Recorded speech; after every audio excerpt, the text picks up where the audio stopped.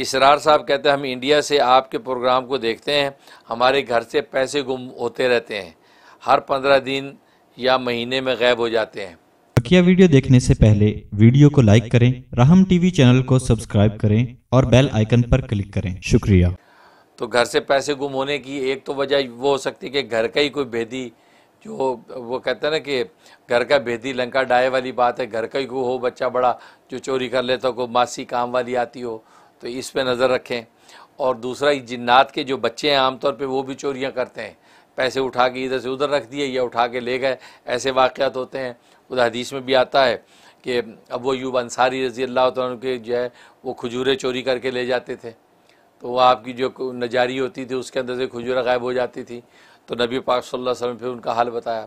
तो इसलिए हो सकता है कि ऐसी चीज़ें हों, कोई ये तसरफ़ करती हों, उसके लिए नोट कर लें। आप जो 19 दफ़ा 19 दफ़ा आयतल कुर्सी पढ़नी है। 19 दफ़ा आयतल कुर्सी पढ़नी है और तीन तीन दफ़ा सुरफलक और नास पढ़नी है। पढ़ के पानी भी दम करना है। अव्वल आखिर तीन तीन दफ़ा दरूद इब्राहिमी। ये पढ़ के पानी घर में छिड़कना है। तो रोज़ाना रात को ये अमल करके सोया करें और ये 21 दिन पाबंदी के साथ कर लें।